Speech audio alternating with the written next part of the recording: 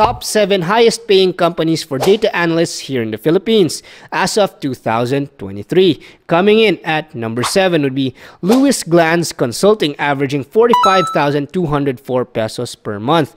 Coming in at number 6 would be Alorica Philippines averaging 46,991 pesos per month. Coming in at number 5 would be Penbrothers averaging 47,957 pesos per month. Coming in at number 4 would be KMC Solutions averaging 57,945 pesos per month.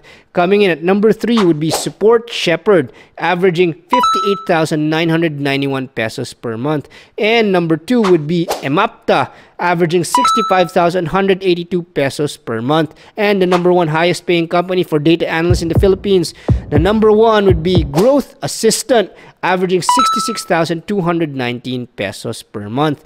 So these are the seven highest paying companies here in the Philippines for data analysts as of 2023. So if you found this content helpful, please subscribe. I'm Engineer Morgan Say, your coach ng bayan.